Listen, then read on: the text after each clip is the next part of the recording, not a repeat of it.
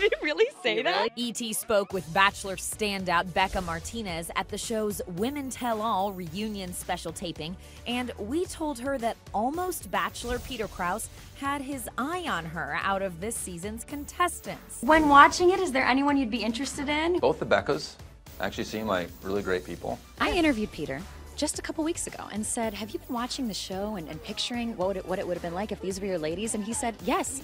And I am very into both of the Beccas. So.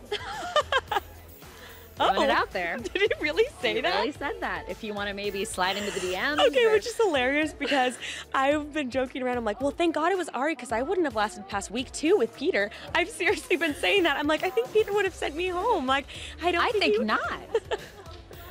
Will you reach out?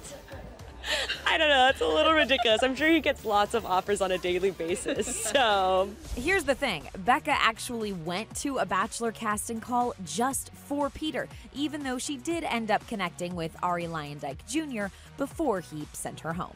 Well, were, were people surprised when everybody got there and found out it wasn't Peter?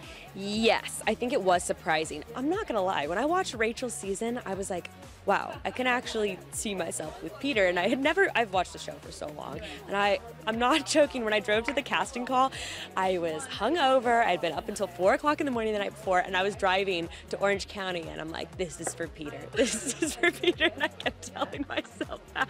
But then when I found out that it was Ari, I was kind of like, whoa. I don't know who the hell this is, but it's gonna be meeting a stranger like anywhere else, you know? I've met boyfriends at the gym, you know, through friends, at a bar, whatever. So it's like, well, I'm gonna meet a stranger on TV and just see what happens. So it's kind of cool.